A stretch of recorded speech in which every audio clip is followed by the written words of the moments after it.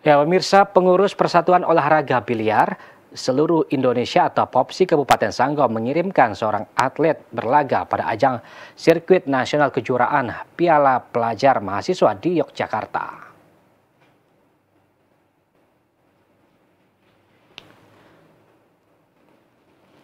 Pada sirkuit nasional ketiga Piala Pelajar dan Mahasiswa Atlet Biliar Kabupaten Sanggau sempat melakukan perlawanan berimbang dengan atlet kelas dunia.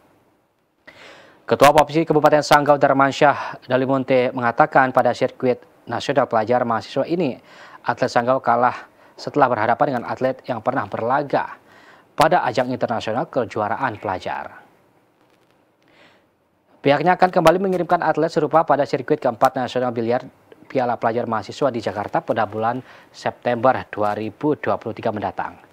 Dan Malaysia berharap dukungan semua pihak yang berada di Kabupaten Sanggau demi untuk perkembangan berbagai cabang olahraga di wilayah tersebut. Sanggau telah mengirimkan atlet biliar pelajar yang mengikuti kejuaraan sirkuit nasional opsi pelajar dan mahasiswa tahun 2023 di Yogyakarta.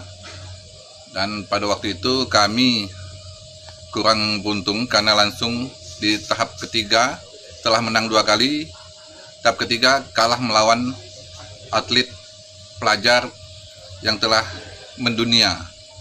Namun kami di sini pada November mendatang akan mengirimkan atlet kami pada sirkuit 4 kejuaraan popsi pelajar mahasiswa di Jakarta. Damarsyah menambahkan pihaknya terus melaksanakan pembinaan dan menjaring bibit atlet untuk berlaga pada turnamen mendatang.